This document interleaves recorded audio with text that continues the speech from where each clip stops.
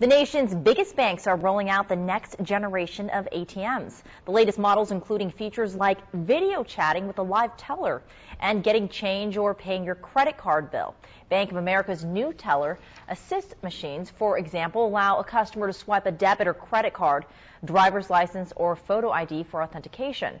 Then a live teller physically based in Delaware or Florida pops up on the screen to assist the user, and the bank says the machines will be able to perform about 80% of the services a traditional teller can.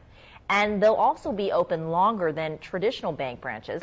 Analysis say ultimately the banks investing in new ATM technology hope to reduce costs and keep customers coming back. Stay with us. We're going to be right back.